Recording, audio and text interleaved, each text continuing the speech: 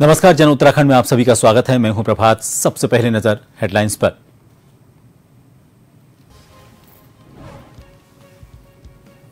CM Pushkar Singh Dhami का चमोली दौरा। भगवान बद्री विशाल के किए दर्शन तीर्थ यात्रियों से की मुलाकात भरानी सैंड में कार्यशाला को किया संबोधित। पूर्व केंद्रीय मंत्री रमेश पोखरियाल निशंक का राजस्थान दौरा जयपुर में बोले, नवोदित लेखकों के लिए श्रेष्ठ स्थान बनेगा लेखक गाँव। श्रेष्ठतम रचनाकार की प्रतिका करेंगे प्रचार। केदारनाथ उपचुनाव कारण प्रवासी उत्तराखंडियों को साधने में जुटी बीजेपी। दिल्ली, चंडीगढ़, हरियाणा का महेंद्र भट्ट ने किया दौरा।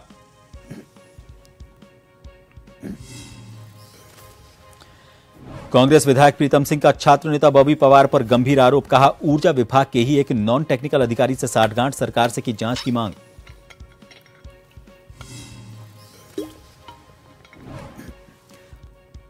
और जिला उपभोक्ता फोरम के सदस्यों और चेयरमैन की तैनाती का मामला हाईकोर्ट ने लिया स्वतः संज्ञान। सचिव से पूछा सवाल, क्या चार के अलावा अन्य जिलों में भी होगी नियुक्ति?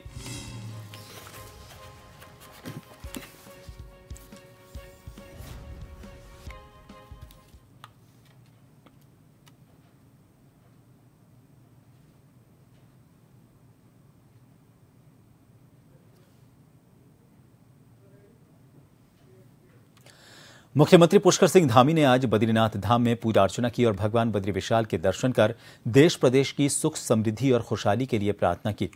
इससे पहले उन्होंने मौजूद तीर्थ यात्रियों से मुलाकात की और उनकी यात्रा के बारे में जाना। इस दौरान सीएम धामी ने मीडिया से कहा कि पिछले दो तीन साल से श्रद्धालुओं की संख्या लगातार बढ़ी है। आने वाले समय में यात्रियों की संख्या में रिकॉर्ड वृद्धि होगी। वहीं सीएम धामी ने तीर्थ पुरोहितों, व्यापार मंडल, होटल एसोसिएशन के पदाधिकारियों से बी के टीसी कार्यालय में मुलाकात कर उनकी समस्याएँ सुनी और उनके निदान का आश्वासन दिया।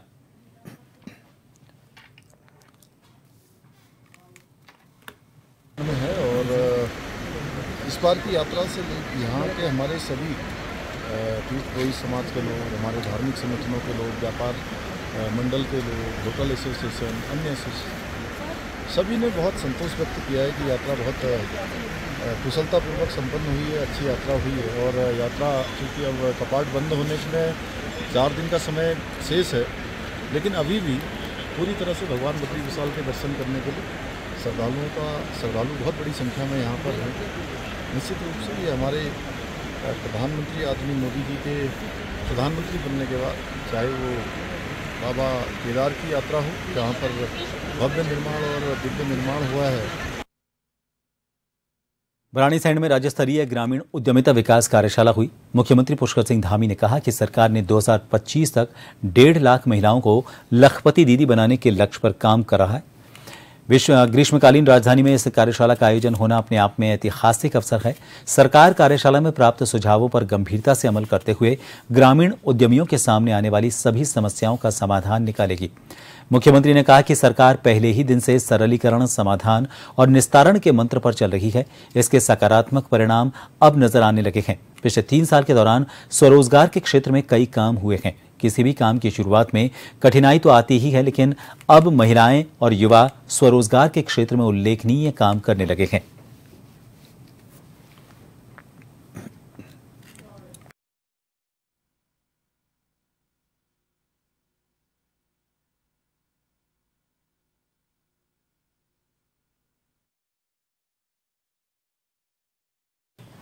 उत्तराखंड राज्य में पहाड़ों से हो रहे पलायन को रोकने के लिए मुख्यमंत्री पुष्कर सिंह धामी की अध्यक्षता में विधान परिसर भरानी सैंड में पलायन निवारण आयोग की अहम बैठक हुई। इसमें पलायन के प्रमुख कारणों पर चर्चा के साथ ही इसके निवारण के लिए बुनियादी जरूरतों को पूरा करने पर मंथन किया गया। मुख्यमंत्री पुष्कर सिंह धामी ने कहा कि राज्य सरकार पलायन की समस्या को लेकर गंभीर है और इसे रोकने के लिए कई योजनाओं पर काम कर रही है।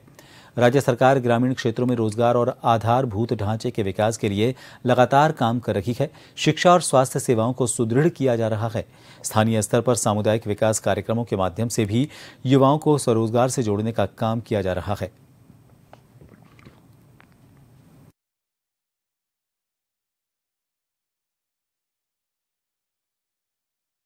मुख्यमंत्री पुष्कर सिंह धामी ने विधानसभा भवन भरानीसैन में उत्तराखंड में सख्त भू कानून के संबंध में बैठक ली। भू कानून के लिए बनाई गई समिति और अन्य पूर्व उच्चाधिकारियों और बुद्धिजीवियों के साथ भू कानून के ड्राफ्ट पर चर्चा की गई। इस अवसर पर मुख्यमंत्री ने कहा कि राज्य सरकार भू कानून को लेकर अत्यंत गंभीर है।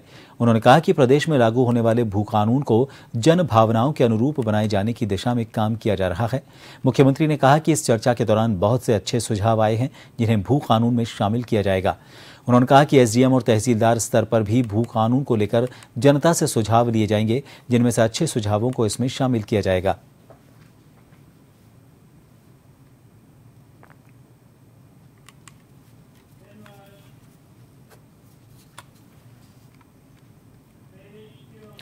देहरादून के पास नवोदित लेखकों के लिए भी एक श्रेष्ठ स्थान बनेगा लेखक गाँव। हाल ही में अक्टूबर के महीने में तीन दिवसीय महोत्सव में दिखी एक झलक की बात करें तो ये काफ़ी महत्वपूर्ण है। ये कहना है पूर्व केंद्रीय मंत्री रमेश पोखरियाल निशंक का। जयपुर दौरे पर आए निशंक ने कहा कि देहरादून के पास ये लेखक गाँव बसाया गया है। यहाँ अब सभी भाषाओं के विचारक चिंतक मंथन कर सकेंगे। निशंक ने कहा कि लेखक गाँव के परिवार में श्रेष्ठतम रचनाकार की प्रति आने पर उसका प्रसार किया जाएगा। नवोदित लेखकों के लिए भी एक श्रेष्ठ स्थान बनेगा लेखक गाँव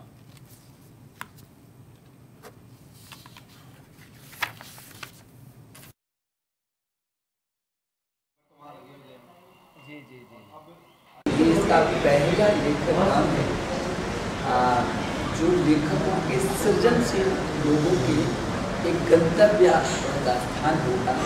ऐसा गंतव्य होगा जिसमें सभी विधाओं के, सभी भाषाओं के जो लोग हैं, सृजनकर्ता है, जो लेखक है, विचारक है, चिंतक है, वो सभी उस स्थान पर आकर के और अपनी रचना धर्मिता को आगे बढ़ा सकेंगे।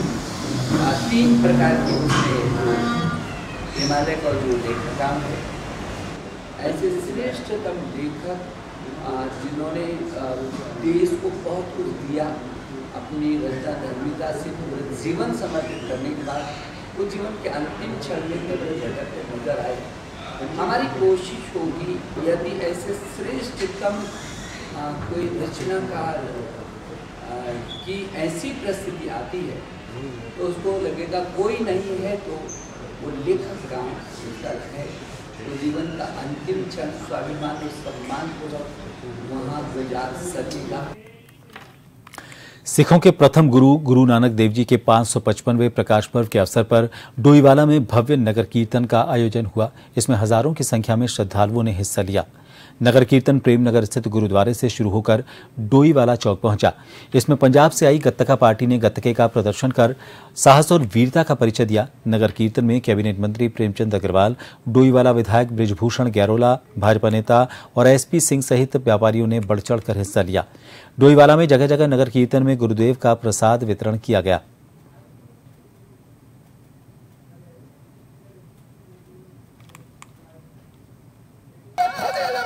पाँच सौ पचपनवा ये प्रकाश पर्व है। और जिन गुरु महाराज ने पूरे संसार के अंदर जा जाके मानव कल्याण के लिए काम किया। और जो हमारे गुरु महाराज थे उन्होंने एक ही बात कही थी कि मैं तुम्हारा मैं तुम्हारा और मैं तुम्हारा। मतलब हम लोग किसी भी तरह से मानव कल्याण के लिए काम करें। भगवान की तरफ़ अपना ध्यान रखें, देवी शक्ति की तरफ़ अपना ध्यान रखें। अनेकों उनके बारे में बातें कही जाती हैं, लेकिन एक प्रमुख बात मैं आपको कहना चाहूँगा कि जब वो चूँकि किसान थे, अपने पिता के आदेशानुसार सब्ज़ी बेचने जाते थे और सब्ज़ी बेचते हुए जब तेरह का अंक आता था, वो रुक जाते थे। देवी शक्ति तरफ़ वो लीन हो जाते थे। तेरा का मतलब तुम्हारा। जैसे मैंने कहा, मैं तुम्हारा मैं तुम्हारा मैं तुम्हारा। तो इस प्रकार का जो भाव जिनके अंदर था, और उसके बाद वो पूरी तरह से देवी शक्ति की तरफ़ वो लीन हो गए दो दिन पहले देहरादून की सड़कों पर सामान समान काम, समान वेतन को लेकर सरकार के खिलाफ प्रदर्शन कर रहे उपनल के बीस हज़ार से ज़्यादा कर्मचारियों को विपक्ष का भी साथ मिल रहा है। उत्तराखंड कांग्रेस के वरिष्ठ नेता और प्रदेश उपाध्यक्ष सूर्यकांत धसमाना ने उपनल कर्मचारियों के मामले में धामी सरकार पर जमकर हमला बोला। उन्होंने एक प्रेस वार्ता करते हुए कहा कि राज्य सरकार कोर्ट के आदेशों की अवहेलना कर उपनल कर्मचारी का हक मार रही है। और जब ये कर्मचारी सड़कों पर उतरकर सरकार के खिलाफ प्रदर्शन करते हैं तो मुख्य सचिव आकर इन कर्मचारियों को आश्वासन देते हैं कि जल्द ही उनकी मांगों पर विचार किया जाएगा। और सरकार कर्मचारियों के नियमितीकरण और वेतन को लेकर फैसला लेना तो दूर, बल्कि हाईकोर्ट के फैसले पर सुप्रीम कोर्ट में पुनर्विचार याचिका दाखिल कर देती है। इससे साफ़ है कि राज्य सरकार कर्मचारियों के साथ ना इंसाफी कर रही है।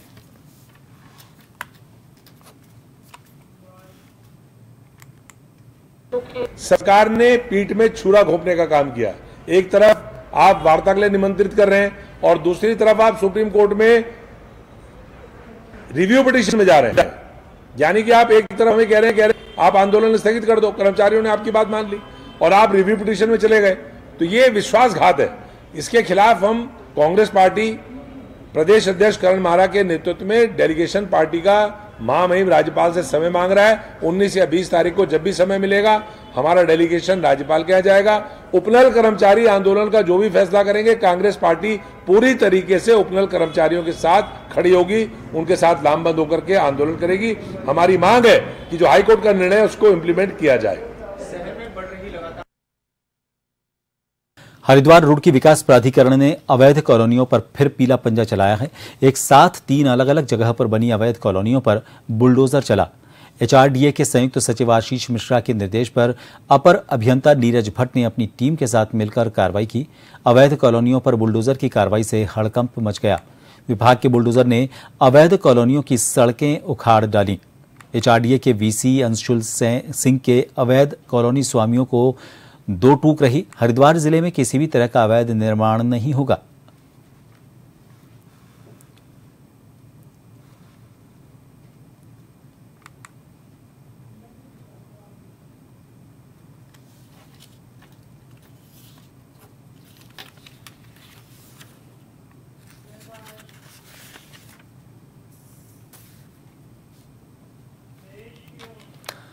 रामनगर में सैमरिटन फ़ीड संस्था द्वारा पहल की गई। आज राजकीय इंटर कॉलेज ढेला और राजकीय उच्चतर माध्यमिक विद्यालय पटरानी को साढ़े चार सौ से ज़्यादा बच्चों को जूते वितरित किए गए।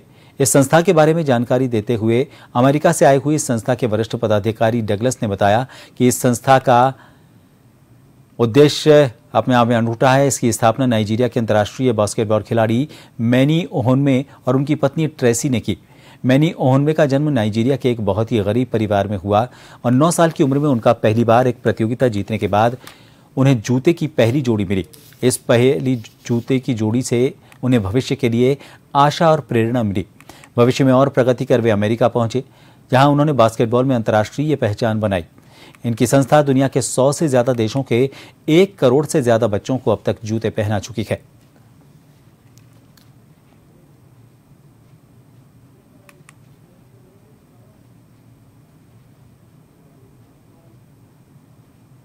आज ढेला और पटरानी के साढ़े चार सौ से अधिक स्कूली बच्चों को जूते प्रदान किए गए हैं।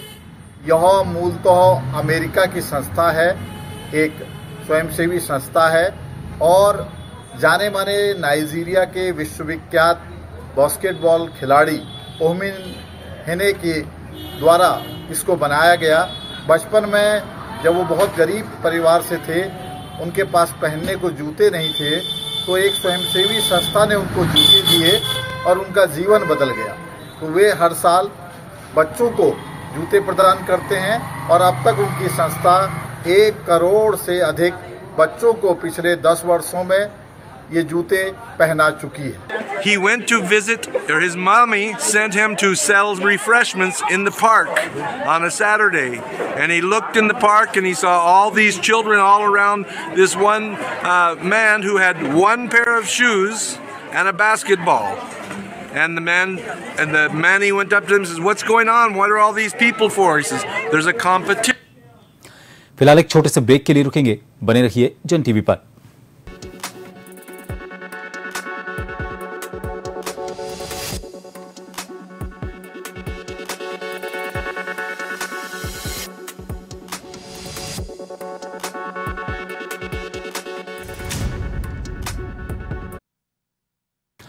जन उत्तराखंड में एक बार फिर आप सभी का स्वागत है। रुद्रपुर में सोशल मीडिया पर हार्श फायरिंग का एक वीडियो वायरल हो रहा है। कुछ दिनों पहले भी एक महिला द्वारा हार्श फायरिंग किए जाने का एक मामला सामने आया था। इसमें पुलिस ने मुकदमा दर्ज कर जाँच शुरू कर दी थी। अब एक बार फिर से एक नया वीडियो सोशल मीडिया पर वायरल हो रहा है। वीडियो दीपावली वाले दिन का बताया जा रहा है। वीडियो को पुलिस ने संज्ञान में लेते हुए जाँच शुरू कर दी है। जानकारी के मुताबिक सोशल मीडिया पर एक महिला की वीडियो वायरल हो रही है। वीडियो में महिला हार्श फायरिंग करते हुए नज़र आ रही है। पुलिस ने वायरल वीडियो को संज्ञान में लेते हुए जाँच शुरू कर दी है।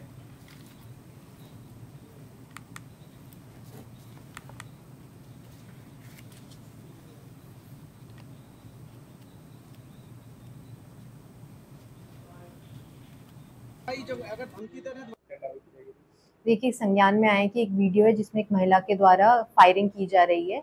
इस वीडियो का संज्ञान लेकर इस पर जाँच की जाएगी और जो भी इसमें उचित कार्रवाई, विधिक कार्रवाई होगी, वो की जाएगी। सोमवार की देर रात राजधानी देहरादून के थाना कैंट क्षेत्र में हुए भीषण सड़क हादसे में छह लोगों की मौत ने सिस्टम और सुरक्षा पर कई सवाल खड़े कर दिए हैं। क्योंकि जिस जगह यह हादसा हुआ, उस जगह प्रशासन द्वारा लगाया गया सीसीटीवी कैमरा काम नहीं कर रहा था। रात करीब एक से दो बजे के बीच सड़क पर तेज रफ्तार कार दौड़ रही थी, जो कई चौराहों से निकली, लेकिन किसी भी जगह पुलिस ने कार को रोकने की कोशिश नहीं की। इस मामले में कांग्रेस ने सरकार और पुलिस प्रशासन पर गंभीर आरोप लगाए हैं। कांग्रेस उपाध्यक्ष सूर्यकांत धसमाना ने कहा कि सरकार भले ही लाख दावे करे, लेकिन पुलिस की कार्यप्रणाली पर कई सवाल खड़े होते हैं।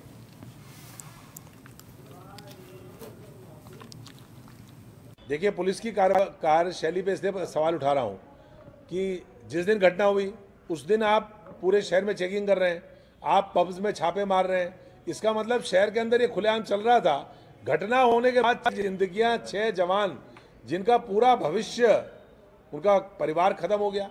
आप समझिए कि परिवार में छह चिराग बुझ गए। उसके बाद आप आप छापे मार रहे हैं। शहर के अंदर जिस प्रकार से क्लब कल्चर शुरू हुआ है रात को लेट नाइट पार्टी चल रही है शराब चल रही है। जगह जगह दस दस कदम में विदेशी मदिरा की दुकानें सरकार ने खुलवा दी हैं। कदम कदम पे अंग्रेज़ी शराब के ठेके हैं। शराब सरेआम सड़कों में गाड़ी खर, खड़ी करके शराबें पी जा रही हैं। शहर के अंदर तमाम व्यवस्था चरमराई हुई है। सरकार को जागना चाहिए पुलिस को जागना चाहिए। जिस दिन एक्सीडेंट होता है चार दिन जागते हो उसके बाद सो उधम सिंह नगर ज़िले के किच्छा में किसानों ने चीनी मिल को जल्द चालू करने की मांग करते हुए मांग पूरी नहीं होने पर धरना प्रदर्शन की चेतावनी दी। पूर्व दर्जा राज्य मंत्री डॉक्टर गणेश उपाध्याय के नेतृत्व में तमाम किसान किच्छा चीनी मिल पहुँचे। किसानों ने चीनी मिल कार्यालय पर नारेबाजी करते हुए 15 नवंबर से चीनी मिल का पैराई सत्र शुरू करने की मांग को लेकर जोरदार नारेबाजी की। किसानों ने अधिशासी निदेशक त्रिलोक सिंह मरतोलिया से वार्ता कर अपनी समस्याओं से अवगत करवाया। किसानों ने कहा कि उधम सिंह नगर ज़िले और आसपास की सभी चीनी मिल समय पर चालू हो गई हैं, लेकिन किच्छा चीनी मिल चालू नहीं होने से किसानों को दिक्कतों का सामना करना पड़ रहा है। किसानों का कहना था कि खेत में खड़ी गन्ने की फ़सल खराब हो रही है और गन्ने की कटाई न होने से समय पर धान की बुवाई भी नहीं हो पा रही है।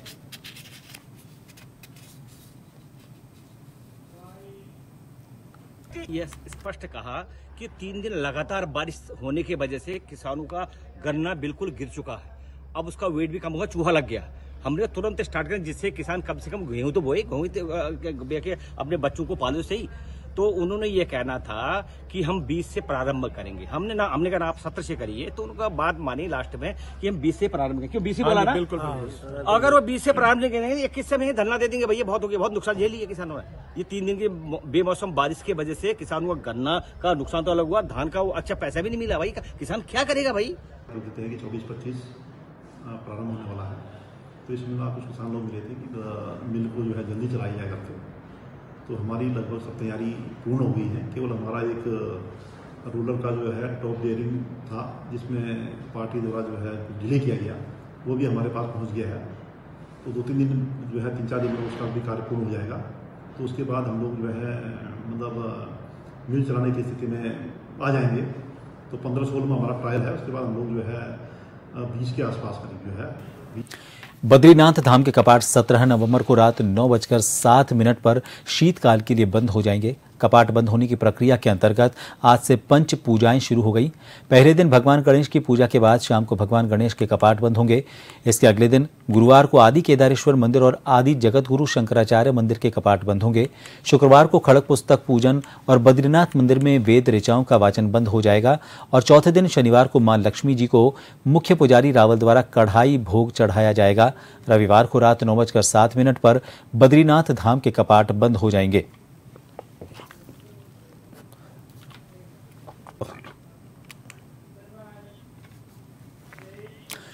केदारनाथ उपचुनाव में प्रचार प्रसार के लिए राजनीतिक दलों के पास और केवल चार दिनों का बचा है समय और इन चार दिन में बीजेपी केदारनाथ के निर्माण कार्यों की उपलब्धियों को जनता के बीच रख रही है। तो वहीं कांग्रेस सरकार पर केदारनाथ की प्रतिष्ठा को नुकसान पहुँचाने का आरोप लगा रही है। इसमें दोनों पार्टियों के वरिष्ठ नेताओं की तरफ़ से बयानबाजी की जा रही है। भाजपा प्रधानमंत्री नरेंद्र मोदी के कार्यकाल में केदारनाथ में किए जा रहे निर्माण कार्यों का हवाला देकर कांग्रेस पर केदारनाथ धाम के नाम पर जनता के बीच भ्रम फैलाने का आरोप लगा रही है। कांग्रेस ने केदारनाथ उपचुनाव की घोषणा से पहले प्रदेश अध्यक्ष की अगुवाई में एक केदारनाथ बचाओ यात्रा भी निकाली थी। हालाँकि मुख्यमंत्री पुष्कर सिंह धामी सार्वजनिक मंच और कई बार मीडिया के सामने भी बयान दे चुके हैं कि कांग्रेस केदारनाथ धाम के नाम पर केवल भ्रम फैलाने का काम कर रही है और सरकार केदारनाथ में तेज़ी से विकास कर रही है।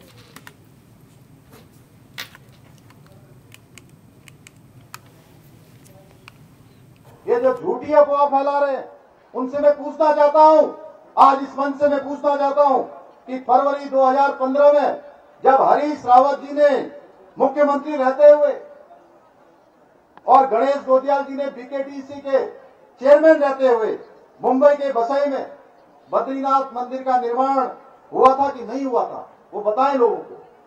उनको बताना चाहिए कि इसमें सच्चाई क्या है? उस समय क्या मंदिर बना था कि नहीं बना था? मैं बाबा केदार के इस मंच से कोई झूठी बात नहीं बोलना चाहता। उनसे पूछना चाहिए उस मंदिर के शिलान्यास में, क्या हरीश रावत जी मौजूद थे कि नहीं थे? आप सभी को पता है, ऐसा हुआ था। लेकिन तब ये कांग्रेस के नेता, ये कांग्रेस के पदाधिकारी, उनके कार्यकर्ता कहाँ गए थे भैया? कहा सो गए थे उस समय? हमने तो बड़ा कानून बना दिया। ऐसे लोगों ने, ऐसे लोगों के लिए उन्होंने उस समय कोई कानून क्यों नहीं बनाया? किसी मंच पर आकर बोले और इन सभी खबरों के साथ जन उत्तराखंड में फ़िलहाल के लिए इतना ही। नमस्कार।